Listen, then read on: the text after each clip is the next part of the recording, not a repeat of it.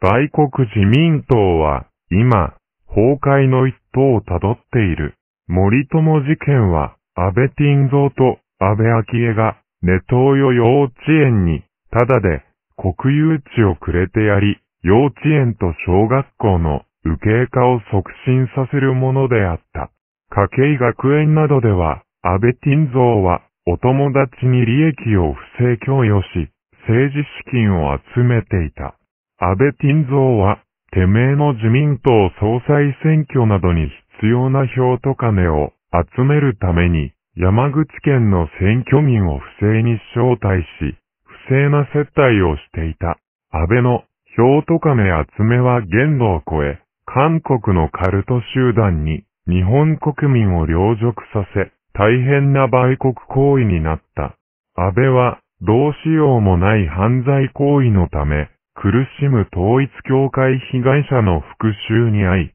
亡くなった。そして、2024年、自民党は、裏金事件がバレ、今、まさに崩壊しようとしている。安倍は、自分の不正、犯罪を隠して、表沙汰にならないように、検察の幹部で犯罪隠蔽に協力してきた黒川博夢を永久に手元に留めておきたいと考えた。いかにも安倍晋三らしい幼稚な小細工をした。しかし、あの上脇教授が再び大活躍の働きをしてくれた。ここからは報道を聞いてください。2020年、安倍内閣は東京高検検事長だった黒川博夢氏の誕生日の1週間前に、検察官では初となる定年延長を閣議決定。